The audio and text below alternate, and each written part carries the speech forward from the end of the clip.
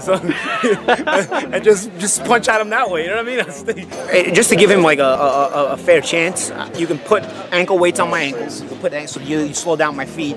You can tie this hand behind my back, and then uh, you can put like something here so that I can't keep my chin down either, so I can keep my chin up, so that way it gives him a good target to hit, you know. And then uh, and then you just have my left hand. Who the fuck does he think he's gonna scare in a boxing ring? I mean, I'll put the camera guy against him, it'll be competitive in a boxing ring. Put him in with a guy like me, a two-time world champion, it, it's still laughable, it, it's comical. I, I would laugh my way through the whole fight, I really would. Hello. I guess was right when I called on Paulie for not telling the truth. I did not know if it was a knockdown, but I guess it was, further reaffirming that Paulie does not tell the truth. Paulie's saying it was a pushdown even when he can hear the sound of glove echoing off his head before the collapse, you know, this just proves he's just a good talker. He was brought in to be punished for everything he said, and by the end of it, he told a convincing sob story to Ariel Helwani, and he fooled a lot of people doing so. It's his character, as I pointed out. He made part of his career out of being able to spout exaggerated trash, and when it comes to playing the victim, he can use his mouth to do that all the same. Think of it this way. If he actually beat Conor, which obviously did not happen, he would have been talking so much trash about him, saying he had no place in the boxing ring. He was clearly humbled, as I pointed out. We didn't see the whole fight, but I trust Conor when he says it and not Paulie, because this further proved my theory that Paulie only says things that favor him, whilst being willing to actually skew the truth to do so. You think Conor does the same? Watch how he reacts when Nate Diaz beats him in their first fight. Can you describe the emotions after a loss like that? You know, it stings, it stings real bad, but this is the fight business. I've been on the end of many defeats in my in my life, and I've rose back, so I will not shy away from it. Um, I will not make excuses for it. I will assess it and uh, come back. This is a humble man who sees this as an opportunity to get better and grow, not making any excuses, not lying about the truth, just looking to come back better. And he did. He definitely evolved from the experience. This is his character. This is who he is. He spouts truth talk, and then in victory or defeat, he is humble, which he proves even with Jose Aldo. So let's go back a bit. If he wasn't wearing headgear, the way those shots were echoing off cranium, there's a good chance Paulie would have been knocked out then and there. Let's now analyze the sequence leading up to the knockdown. Conor slips to the outside of Paulie's cross and then punts him with a jab, which triggers Paulie to duck. Conor calmly follows up with his left, and at this point, Paulie has no vision, and Conor knows this.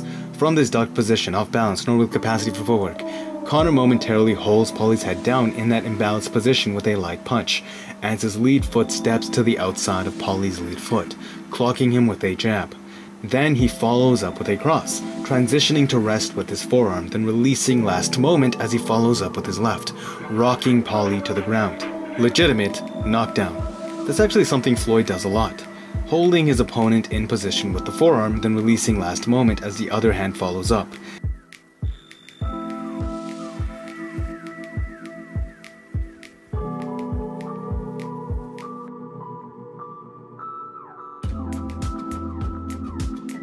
It's also similar to how Anthony Joshua devastated Klitschko.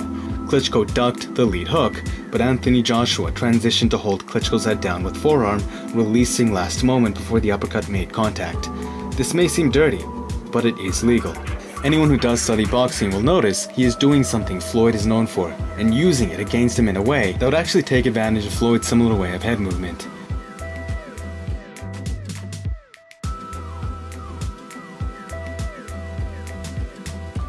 So again, Paulie talked tremendous trash, was brought in for it, punished, and he was humbled yet unable to accept the truth, making up a sob story. I pointed out he has a character of talking trash in exaggerated fashion, rationally derived he probably actually lost if he was speaking so humble, and it turns out I was right. He lied about the pushdown, I can confidently say he lied about even coming close to winning.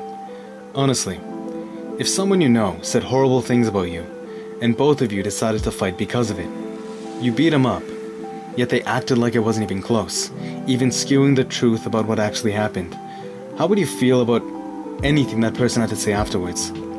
I hold no hate towards Paulie, no emotion really. I wish him the best in life. I know he's getting a lot of heat because of this, thus part of me, it actually feels for him.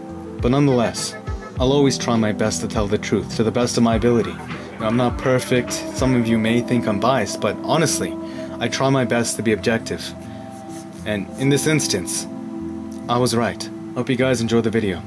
Please don't forget to like.